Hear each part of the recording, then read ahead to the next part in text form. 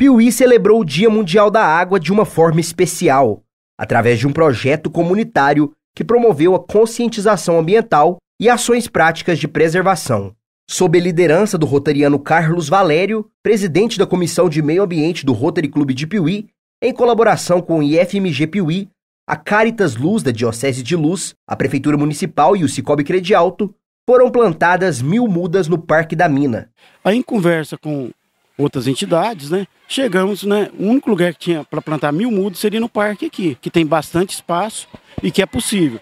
Aí, com a ajuda de, da Caritas, da Prefeitura, do IF e do Rotary, e outros que ajudaram, igual o Cicobi, AP, a Nascente Gerais, nós conseguimos fazer o evento. E estamos, né, de certa forma, conseguindo atingir o objetivo que era plantar as mil mudas. A Polícia Militar de Meio Ambiente também marcou presença no evento. Viemos a convite do pessoal do Rotary Club para prestigiar o evento aqui, juntamente com os alunos das escolas. Sargento Mota, a Polícia Militar de Meio Ambiente irá realizar alguma ação neste dia da água? Então, nós temos é, realizado operações, blitz educativas, com distribuição de mudas de árvores nativas para incentivar o pessoal à preservação do meio ambiente, né?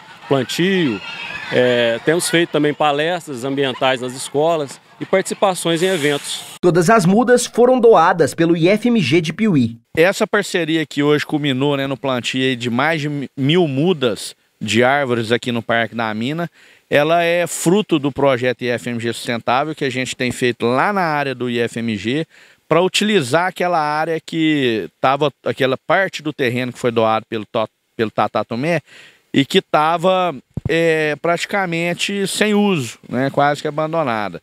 Então nós desenvolvemos ali um projeto de canteiros com hortaliças e montamos também um viveiro lá de produção de mudas de árvores nativas da nossa região e de árvores para plantio na área urbana também. E essa ação ela é importante porque ela tem um cunho educacional é, e junto disso a ação também de recuperação de uma área muito importante para o município, especialmente é localizada no vetor de crescimento principal da cidade, que é o vetor norte, que já vem crescendo com o parque é, municipal, né, no que provavelmente no futuro será uma área muito ocupada do município. Além dos alunos do IFMG, também participaram alunos das escolas municipais. Viviane tem trabalhado o tema da preservação em sala de aula. Nós trabalhamos na escola é, durante toda a semana, né?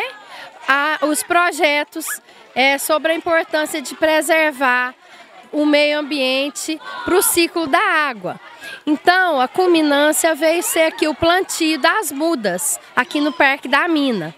E hoje teve o um momento cívico, né?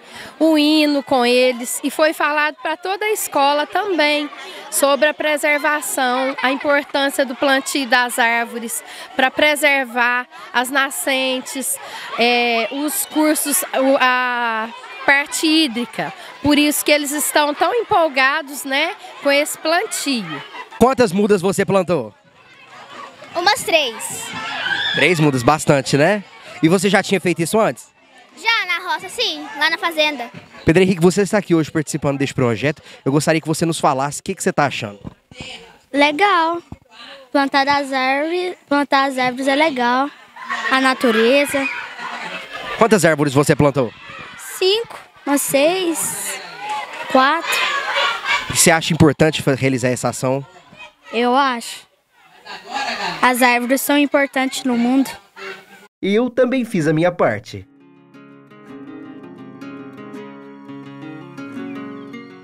O projeto não se limitou apenas ao plantio de mudas, mas proporcionou uma experiência completa de educação ambiental e entretenimento. As crianças desfrutaram de um piquenique ao ar livre ao som de hip hop com improvisação de rimas. Ah, então